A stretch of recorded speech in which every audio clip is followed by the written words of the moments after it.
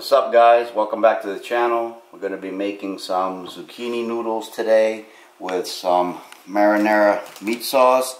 And I don't know if you guys have seen this uh, little device, but is a, I think they call it a zoodle maker.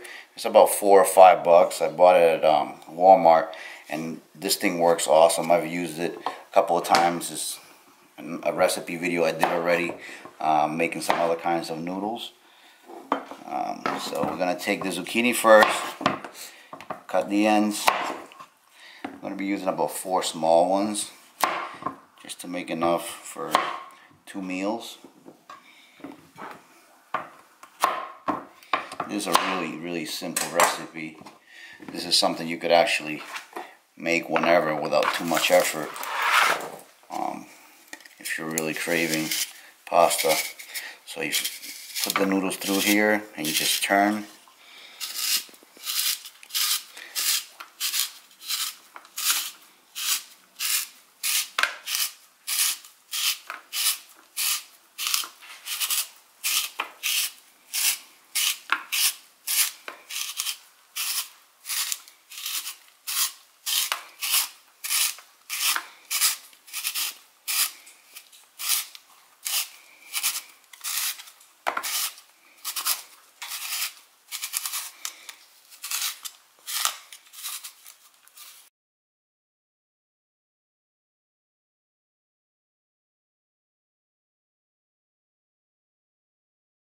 So here you have it guys. This is the, the noodles. The consistency. The, I did the thick side. It's actually got two sides. One for thinner noodles and one for thicker. I like the thicker ones a little bit better. They're more like a linguine. So this was actually uh, off of three small zucchini squash. So next we're to dice up a couple of garlics. And this is to give a lot of flavor to the sauce.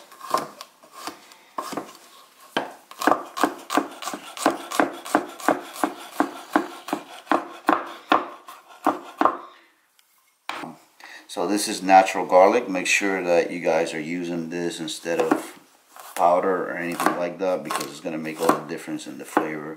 This is one of those things that you can't skimp on. Same thing with lime juice. Always use natural lime juice because a lot of the artificial stuff or concentrate stuff tastes awful. It's not worth not worth using.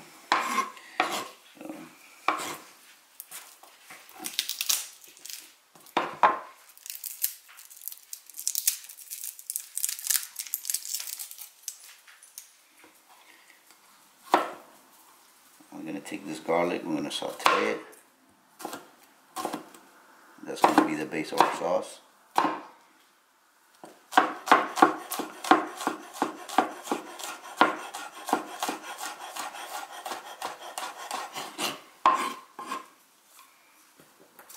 And we also going to saute the noodles in a wok. So what we'll do is drop some of this garlic in the oil and then we'll throw our noodles in.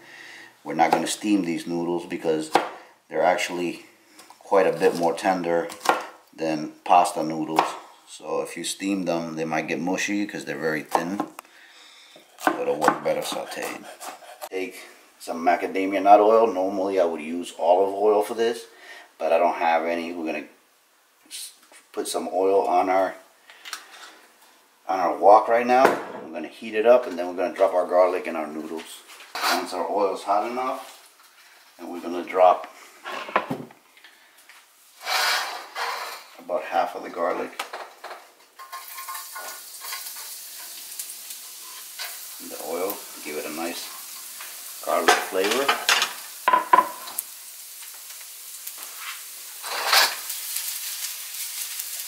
I'm going to cook it on medium high, then drop our noodles.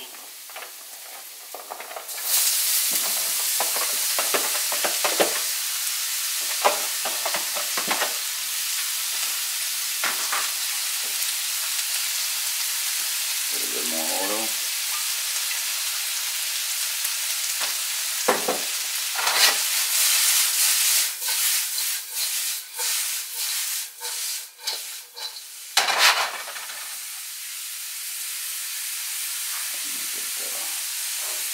Then in my side pan,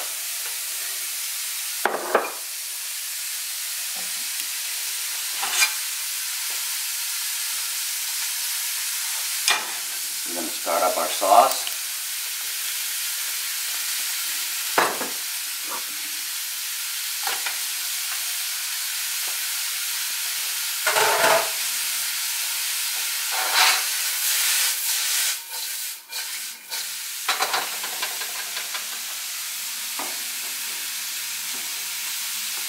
And this is about a pound and a half of hamburger meat. We're going to be using this for our meat sauce.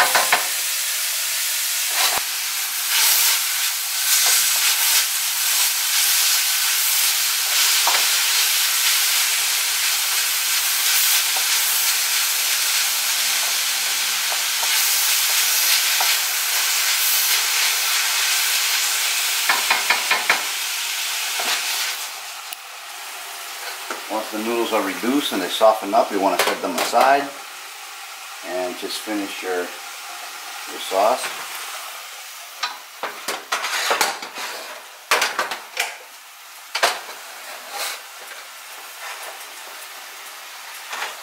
One thing you can do to speed this process up is actually make a batch of sauce at a time and refrigerate it or freeze it and then all you got to do is just make the noodles and then pour the sauce over them. I'm just doing this today so I can show you guys how to make the sauce also in a simple way because I'm not making it from scratch. I'm actually using um, this organic um, spaghetti sauce that I found. Um, this is a wild oats parmesan uh, romano sauce and it's actually six grams of carbs with two grams of fiber per half cup which is a pretty good serving so you're only really getting four grams of net carbs and it's organic and this stuff is actually less than two bucks per jar. So if you guys can find this stuff um, in your grocery store I highly recommend it. This company's making some great organic products for really really cheap.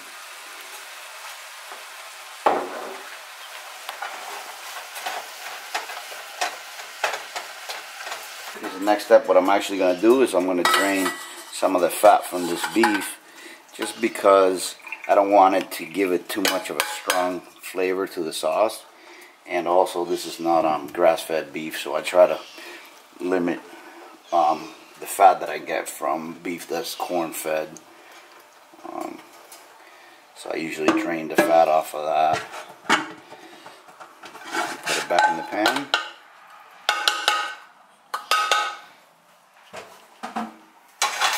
I'm going to throw the garlic in it now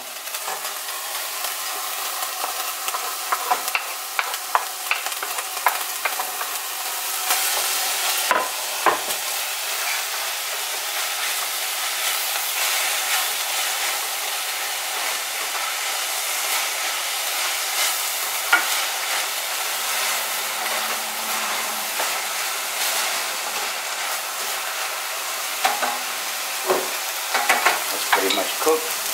So now I'm going to lower the heat a little bit and throw in our organic spaghetti sauce.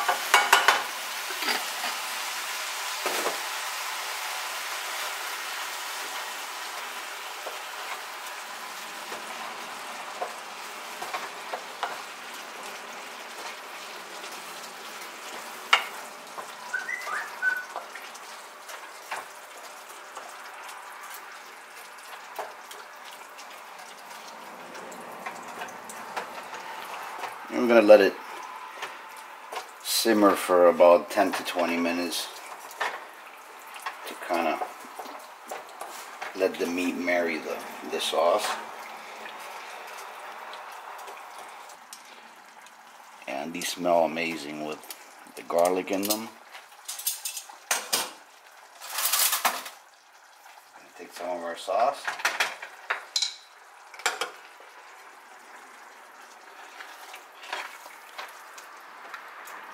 Pour it over the noodles.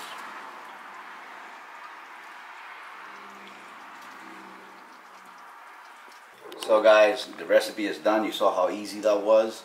Um, if you really want to speed it up and make things simple, like I said, go ahead and make the sauce ahead of time and freeze it or refrigerate it. And the zucchini noodles take probably about 5 to 10 minutes to have them ready. So this is something that you can make over and over again. Um, loaded with nutrients, um, guilt-free if you're doing a keto diet, you know, very low in carbohydrates. Um, tastes amazing, and if you're missing spaghetti or pasta, this is a good way to replace it. Um, trust me, you won't be sorry if you try this recipe out. Again, guys, thank you for watching the channel. Remember to share with your friends so um, they keep us growing. And check us out at justthatmuscle.com for all your supplement needs. Any questions you have, remember, send us an email. We'll be glad to help. And I'll see you on the next one.